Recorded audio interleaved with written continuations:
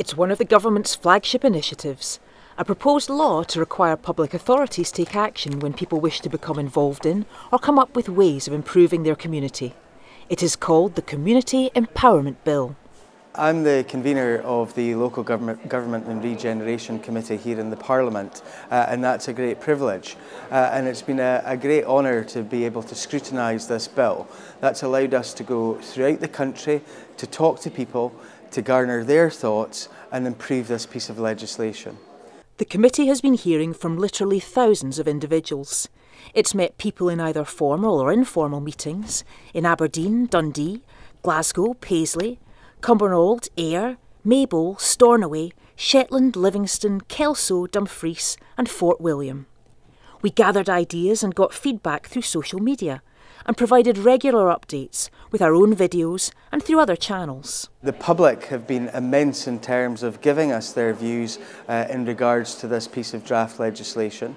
Um, that has been important to us in terms of formulating what we need to do uh, and to improve the, the legislation that was initially put in front of us.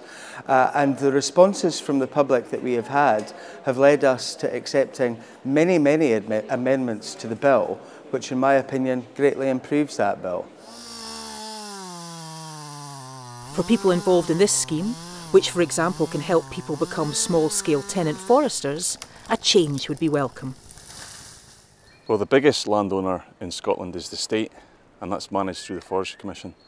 Um, but as things stand at the moment, uh, we weren't able to lease land uh, from the state through the Forestry Commission. Examples of changes include you asked for the opportunity to appeal should a request to participate be refused. This is now included. You wanted enhanced powers for urban communities and crofters, which have now been added. On allotments, you wanted minimum sizes, shorter time on waiting lists, and fair rents, all of which have been added. In addition to ensure actions can be monitored, we have added requirements for detailed reporting to us on how public bodies have delivered what we have told them to do. It's looking like at the moment the outcomes from our engagement is that we've been successful really in what we were trying to do.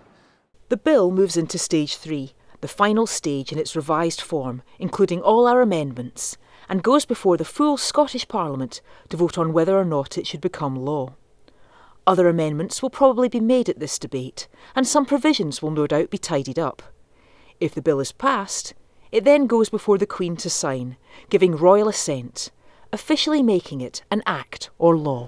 What I would say to the folks out there who have engaged with us is you have spoken, uh, we have listened and we have acted.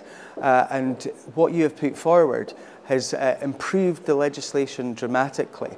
Uh, and I hope that the folks who have become engaged during this process recognise that their voice does make a difference.